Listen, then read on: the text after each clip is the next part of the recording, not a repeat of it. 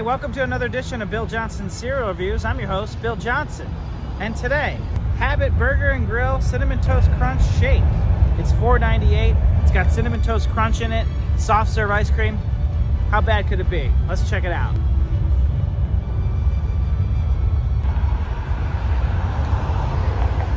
Tastes just like Cinnamon Toast Crunch.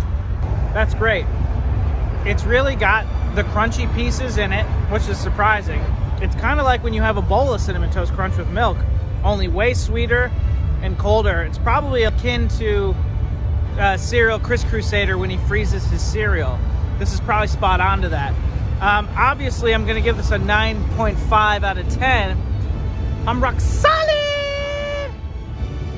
You got to get to Habit Burger, Habit Burger Grill, and try these out. I'm by an airport, Teterboro. That's why it's so loud here. Like, subscribe, comment down below. Put that in your mouth and drink it.